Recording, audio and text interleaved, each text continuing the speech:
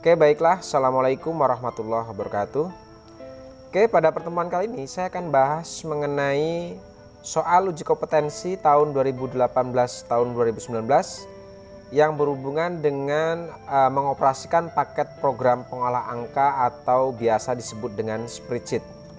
Ya di sini kita lihat untuk bentuk soal spreadsheetnya sendiri, di sini bentuknya kira-kira seperti ini ya. Ini soalnya. Jadi daftar gaji pegawai dari PT Sejahtera periode Desember 2018. Oke, karena tugas uji kompetensi ini kita disuruh membuat dalam bentuk uh, program spreadsheet, maka silakan bentuk tabel ini kalian buat dalam bentuk Excel atau di dalam program Microsoft Excel. Nah, di sini untuk soal ini, di sini untuk mempersingkat waktu, saya sudah siapkan bentuk uh, tabelnya ya, tabel gaji pegawai dari PT Sejahtera. Nah, ini kemudian di sini sudah saya buat juga untuk tabel gaji dan tabel pajaknya serta uh, tugas atau yang harus kita kerjakan sesuai perintah ini. Jadi di sini dari tabel ini, dari tabel gaji ini, kita akan coba isi masing-masing kolom dari kolom gaji pokok, kemudian tunjangan, kemudian transport, total gaji, pajak, serta gaji bersih. Di mana untuk mengisi kolom ini kita berpatokan pada perintah yang ada di bawah di sini. Ya. Oke, yang pertama, kita langsung saja. Yang pertama dari tugas yang pertama, untuk kolom gaji pokok, tunjangan dan transport ini diisi dengan rumus VLOOKUP. Jadi kolom gaji pokok ya, jadi kolom gaji pokok ini gaji pokok, kemudian tunjangan dan transport ini diisi dengan menggunakan rumus VLOOKUP. Ya, jadi gaji pokok, tunjangan, serta transport ini diisi berdasarkan golongan. Diambil datanya itu dari tabel gaji ini. Perhatikan di sini untuk gaji pokok, untuk golongan 1 gaji pokoknya adalah 2.500. Untuk golongan 2 gaji pokok 3.500, golongan 3 6 juta dan golongan 4 8 juta.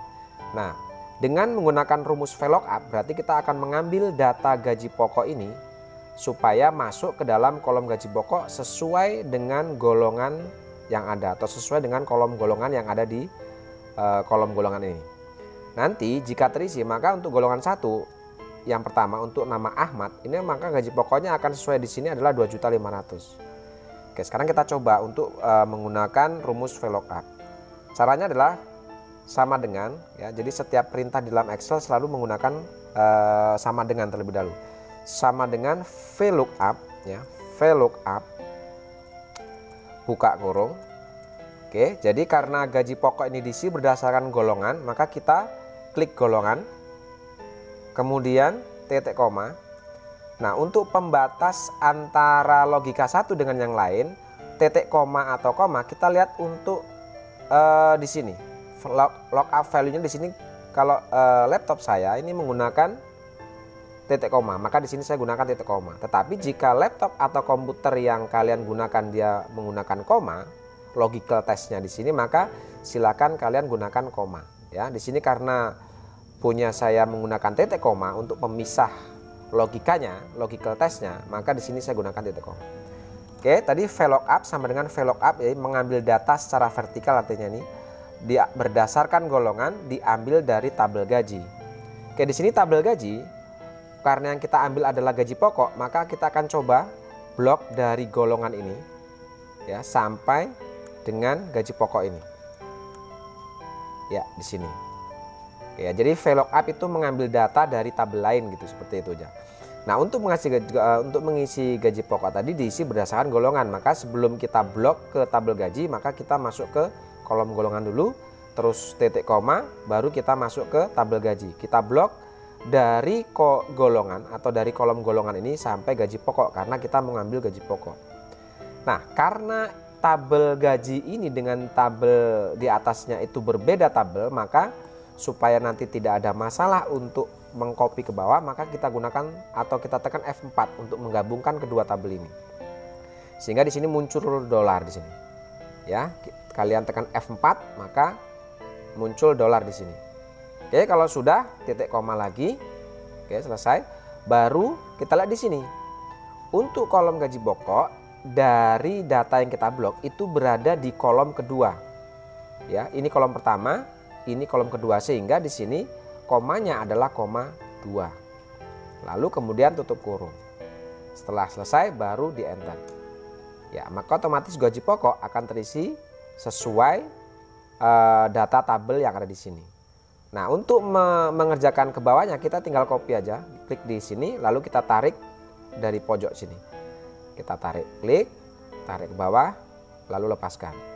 Sehingga otomatis di bawah akan menyesuaikan sesuai dengan uh, gaji pokok yang sesu uh, yang ada di golongan ini atau yang sudah sesuai dengan golongan. Misalnya di sini gaji uh, untuk golongan satu gaji pokoknya 2 juta 500 maka ini sesuai. Golongan satu gaji pokoknya 2 juta 500 golongan 2 3 juta 500 ini pun sudah sama. Golongan 3 ini 6 juta sudah sama. Dan seterusnya. Golongan 4 8 juta. Di sini golongan 4 pun 8 juta Nah, untuk menguji kevalitan rumus yang kita tulis, coba di sini kita tes jika di sini saya buat golongan 3. Ya, 1 2 3, maka otomatis gaji pokok akan berubah sesuai dengan nilai gaji dari golongan 3 di sini, 6 juta. Seperti itu. Oke, kita kembalikan lagi. Ya, seperti itu ya. Lalu kemudian untuk kolom tunjangan sama caranya. Kita menggunakan VLOOKUP. Ya, caranya sama seperti tadi sama dengan VLOOKUP buka kurung hati-hati dengan penulisan rumus ya. Jadi penulisan rumus harus benar. Kalau salah dia tidak tidak bisa nanti. Oke sama dengan VLOOKUP mengambil data secara vertikal berdasarkan golongan. Oke kita klik golongan. Lalu titik koma kita ambil dari tabel gaji. Nah tabel gaji di sini perhatikan. Di sini kita mau mengisi tunjangan. Berarti kita blok dari golongan atau kolom golongan ini sampai dengan tunjangan di sini ya, kita blok seperti ini ya sampai tunjangan karena kita mengambil tunjangan. Kemudian kalau sudah karena ini tabelnya berbeda atau kita mengambil data dari tabel lain maka untuk menghubungkan antara tabel pokok dengan tabel gaji ini kita gunakan F4 kalian tekan tombol F4 sehingga di sini keluar dolarnya. Oke jika sudah keluar dolar maka kita tekan titik koma lagi untuk memisahkan logika satu dengan logika yang lain baru kita hitung bahwa dari tabel gaji ini tadi kita ngeblok tiga kolom. Oke. Nah, kolom tunjangan ini berada di kolom ketiga dari data yang kita blok. Kita tadi ngeblok dari uh, data golongan, gaji pokok dan tunjangan sehingga tunjangan ini ada di kolom ketiga. Satu, dua, tiga. Sehingga di sini titik komanya kita gunakan titik koma tiga. Lalu tutup kurung, enter. Oke, lalu kita copy ke bawah. Klik di sini, lalu kita tarik ke bawah pojok sini. Ya, seperti itu tunjangan. Kita cek apakah betul bahwa untuk golongan 1 tunjangan 500. Golongan 1 tunjangan 500. Golongan 4 1 juta 600. Golongan 4 1 juta 600. Kita cek lagi di sini, kita coba misalkan di sini saya tulis golongan 4. Ya. Enter, maka otomatis di sini pun tunjangan 1 juta 600 sesuai dengan kolom tunjangan yang ada di tabel gaji ini. Oke, seperti itu. Saya kembalikan lagi. Oke, kita lanjut ke kolom transport. Caranya juga masih sama di sini ya. Ya, caranya masih sama. Kita gunakan VLOOKUP ya, sama dengan VLOOKUP buka kurung diisi berdasarkan kolom golongan berarti kita klik di golongan dulu lalu titik koma Lalu kita lari ke tabel gaji, kita blok dari kolom golongan sampai kolom tra, uh, kolom transport kata karena kita mau mengambil data transport. Lalu tekan F4 untuk menggabungkan dua tabel itu ya antara tabel pokok dengan tabel gaji ini. Lalu setelah itu titik koma baru kita lihat kita hitung bahwa data yang kita blok tadi adalah 4 kolom 1 2 3 4. Kita mau mengambil data transport. Data transport ini berada di kolom keempat dari tabel yang kita blok ini tadi. Oke, sehingga di sini titik komanya adalah titik koma 4. Baru tutup kurung, enter. Oke, lalu kita copy ke bawah. Kita klik di sini, kita tarik pojoknya. Ya, seperti itu. Ini sudah sesuai. Oke, golongan 1 transportnya 200. Golongan 1 transport 200. Golongan 4 dia 500, di sini golongan 4 juga transportnya 500. Sudah sesuai. Oke, itu tugas pertama selesai di sini untuk mengisi kolom gaji pokok, tunjangan dan transport. Lalu kita masuk ke tugas yang kedua. Tugas yang kedua, kolom pajak itu diisi dengan rumus if. Oke. Ya, jadi pengandaian if itu jika berarti. Rumus pajak diisi dengan menggunakan rumus if. Jadi kolom pajak ini diisi berdasarkan golongan, masih berdasarkan golongan ya. Kolom pajak diisi berdasarkan kolom golongan yaitu mengambil berdasarkan tabel pajak ini. Untuk golongan 1, 2 dia tidak kena pajak ya. Jika karyawan golongan 1 dan 2 dia kena eh, tidak kena pajak. Untuk golongan 3 dia dikenakan pajak 5% dan golongan 4 ini 10%. Nah, besarnya pajak 5% dan 10% ini diisi berdasarkan gaji pokok ini. Ya, berdasarkan gaji pokok ini. Oke, sekarang kita akan coba kerjakan dengan menggunakan rumus if. Oke, sama dengan if, if itu jika, ya, jika buka kurung jika dia golongan satu atau jika uh, kolom golongan ini adalah sama dengan dia gunakan golongan satu atau dia ada golongan satu ya. Tutup petik perhatikan. Setiap rumus dengan menggunakan karakter dia harus ditutup dengan menggunakan tanda petik. Oke jadi jika F7 atau jika kolom golongan dia adalah golongan satu maka oke maka titik koma ya pemisah tesnya adalah logical tesnya titik koma maka dia tidak kena pajak nol berarti oke saya ulangi lagi ya jika F7 atau jika golongan atau jika di sini kolom golongan uh, tertulis golongan satu maka dia tidak kena pajak. Oke, selesai satu logika. Oke, mengakhiri logika itu pun ditandai dengan titik koma. Jadi pemisah logika satu, logika dua dan seterusnya dia gunakan titik koma atau koma tergantung pemisah logika di sini uh, laptop atau komputer yang kalian gunakan. Jika koma maka kalian gunakan koma. Karena kebetulan laptop yang saya gunakan adalah pemisahnya titik koma, maka saya gunakan titik koma. Oke ya, jadi jika F7 atau jika golongan itu tertulis adalah golongan satu, maka dia tidak kena pajak. Selesai. Lalu if jika logika kedua, jika kolom golongan atau golongan dia sama dengan tanda petik, oke, tanda petiknya mengambilnya pakai shift ya. Jangan uh, tanda petik dua itu kita gunakan satu-satu tanpa shift. Jadi mengambilnya pakai shift biar ini kalau kita gunakan dua seperti ini, nah ya seperti ini dua kali tanpa menggunakan shift ini tidak bisa. Maka untuk mengambil tanda petik dua kita gunakan shift. Oke, saya ulangi.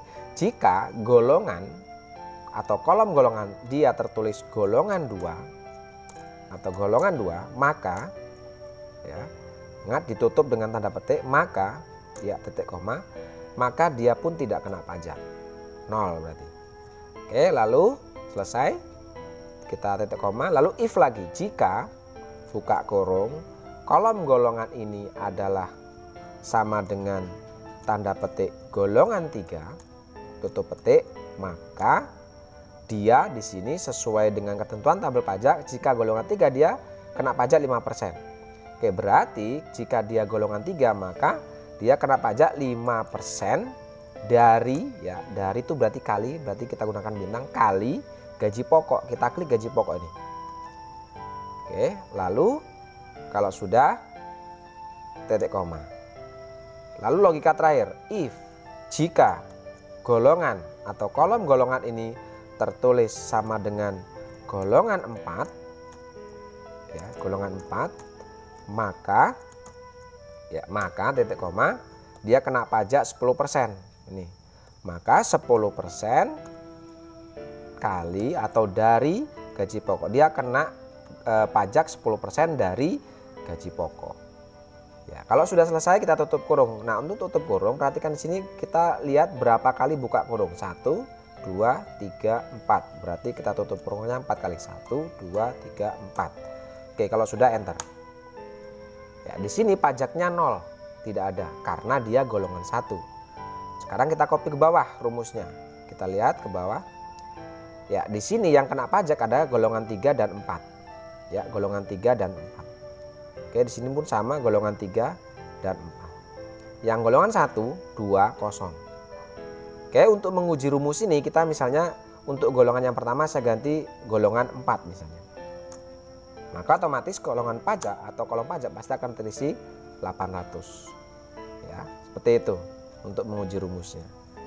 Oke, itu untuk uh, tugas yang kedua, pajak. Jadi rumusnya seperti itu. Lalu kita lihat untuk tugas yang ketiga di sini. Untuk total gaji diisi dari penjumlahan gaji pokok, tunjangan, dan transport. Oke, sekarang kita isi untuk gaji, total gajinya ini. Total gaji diisi dari penjumlahan antara gaji pokok, tunjangan, dan transport. Oke, untuk menjumlah ini rumusnya adalah sama dengan sum, ya sum buka kurung, lalu kita blok ketiganya ini. Ya seperti ini. Ya karena penjumlahan antara gaji pokok, tunjangan, dan transport, maka kita blok tiga tiga kolom itu lalu tutup kurung. Enter. Oke lalu kita copy ke bawah. Ya seperti ini. Cukup mudah untuk total gaji. Dan yang terakhir untuk gaji bersih di sini. Perhatikan untuk poin yang keempat atau tugas keempat gaji bersih diisi dengan total gaji dikurangi pajak. Berarti untuk mengisi to, uh, gaji bersih ini total gaji dikurangi kolom pajak ya. Nah sama dengan selalu dengan menggunakan sama dengan ya diawali sama dengan total gaji dikurangi dengan pajak. Enter. Ya mudah. Lalu kita copy ke bawah. Ya seperti ini. Oke total gaji untuk yang Ahmad atas nama Ahmad dia tidak kena pajak maka gaji bersih sama dengan total gaji. Untuk yang Arfan karena dia posisinya golongan 3 maka total gaji 7.600 dikurangi 300 sehingga dia total gaji bersihnya adalah 7.000 300 dan seterusnya. Lalu di sini ada kolom total. Ini untuk mentotal berarti untuk menjumlah masing-masing kolom. Caranya sama tadi, sama dengan sum buka kurung kita blok gaji pokoknya ini sampai dengan Habibi ya, nama Habibi, tutup kurung enter. Ini pun sama, sama dengan sum buka kurung kita jumlah untuk seluruh tunjangan ya kita jumlah dari sini ya tutup kurung enter. Nah untuk mempersingkat waktu kalian tinggal blok aja dari sini ya. Tinggal kita tarik pojoknya kita tarik ke kanan.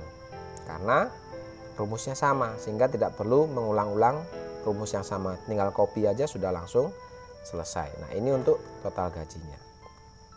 Oke ya. Untuk membedakan ini kita kasih cetak tebal. Oke seperti itu. Kita lihat tugas selanjutnya. Oke yang keempat sudah selesai. Yang kelima cetak hasilnya. Cetaklah hasilnya yang pertama hasil angka. Berarti ini langsung kalian cetak saja ke uh, mesin pencetak printer hasil dalam bentuk angka seperti ini. Lalu yang selanjutnya hasil berupa rumus. Artinya yang menggunakan rumus tadi ini kita cetak dalam bentuk rumusnya. Nah untuk menampilkan rumus di sini kita tinggal kasih klik di sini. Misalnya kita mau menampilkan rumus untuk yang gaji pokok. Kita klik di sini Lalu di atas sini untuk di awal di awal dikasih tanda petik 2, di akhir dikasih tanda petik 2. Enter. Dia sudah tampil rumus. Nah, untuk yang di bawahnya saya perlu uh, saya rasa tidak perlu ditampilkan karena cukup hanya menampilkan satu rumus saja di atasnya, otomatis ini sudah mewakili di bawahnya. Nah, tinggal langsung cetak saja ini ke dalam uh, mesin printer seperti itu. Nah, ini akan kelihatan hasilnya. Seperti itu. Ya. Lalu sama untuk tunjangan pun sama, kita kasih di depannya tanda petik, di akhirnya juga tanda petik. Enter, maka dia sudah keluar dalam bentuk rumus. Seperti itu. Lalu ini pun sama dan seterusnya. Ya, jadi atasnya saja yang kita uh, tampilkan bentuk rumusnya, yang di bawah saya rasa sudah mewakili. Oke, itu untuk uh, yang poin ke B. Sekarang yang grafik. Nah, di sini untuk ketentuan grafik karena tidak ada kejelasan grafik ini diisi atau dibuat berdasarkan data apa, maka di sini saya akan contohkan grafik hanya dalam uh, hanya grafik untuk menampilkan gaji pokok ini saja. Saya akan buatkan grafik untuk gaji pokok ya. Jadi golongan 1 gaji pokok 2 juta setengah, golongan 2 3 juta 500 dan seterusnya ini. Saya akan tampilkan di sini saja atau kita tampilkan di sheet kedua juga boleh nanti. Ya. Oke, kita blok di sini caranya. Ya, karena saya mau membuat grafik hanya gaji pokok saja, maka saya blok ini. Lalu kita masuk ke grafiknya, insert. Oke, saya akan tampilkan dalam bentuk grafik P ini. Yang terpisah ini. Ya, seperti itu. Oke, lalu saya akan tampilkan nilai gajinya di sini. Add data label. Oke, selesai. Untuk warna biru golongan 1 gajinya 2.500. Untuk yang merah golongan 2 itu gajinya 3.500 dan seterusnya. Oke, kalau sudah selesai, ini bisa kalian cetak ya. bisa kita taruh di bawah sini lalu bisa langsung dicetak di atas mesin printer oke saya rasa cukup ya untuk pembahasan untuk uji kompetensi uh, yang membahas tentang atau yang berhubungan dengan spreadsheet seperti itu oke saya rasa cukup terima kasih assalamualaikum warahmatullahi